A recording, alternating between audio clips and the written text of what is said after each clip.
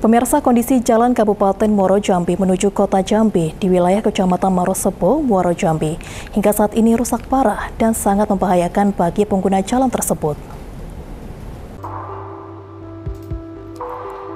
Beginilah kondisi jalan kabupaten di wilayah Muaro Jambi yang sampai saat ini masih rusak parah.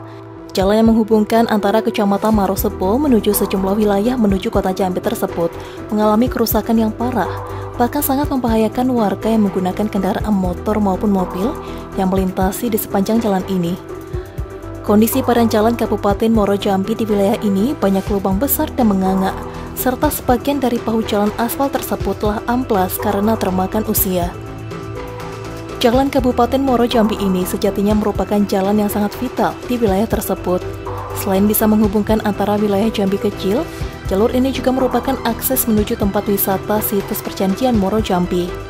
Selain itu, menjelang masa mudik lebaran tahun ini, warga juga akan melewati jalan kabupaten yang kondisinya sangat berbahaya tersebut.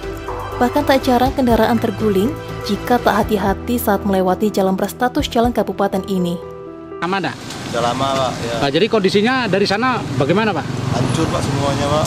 Hancur dari ya? sana ya. Hmm. Sampai sana nah, hancur. Ini sangat mengganggu perjalanan kita menjelang Lebaran, Pak Malwin? Sangat mengganggu Pak.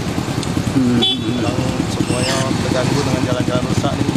Apalagi Lebaran kan kita lagi nah macet sih macet kalau orang rame-rame lewat kan. Ya. Padahal jalan ini merupakan akses penting ya? Iya benar Pak. Ini kalau ke sana ke mana Anda? Bisa arah ke Kota Jambi juga Pak? Kota Jambi bisa juga. Oh begitu.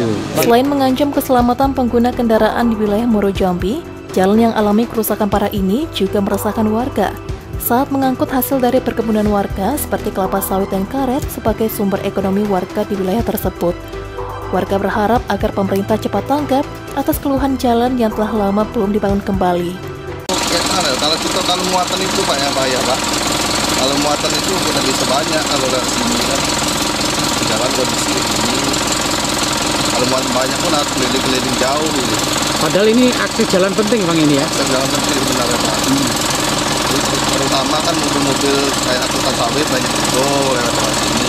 Uh, kendaraan yang tumpah atau guling gimana? Kendaraan tumpah, guling itu banyak udah sering Pak. Novia Putri Sanjaya, Cek TV melaporkan.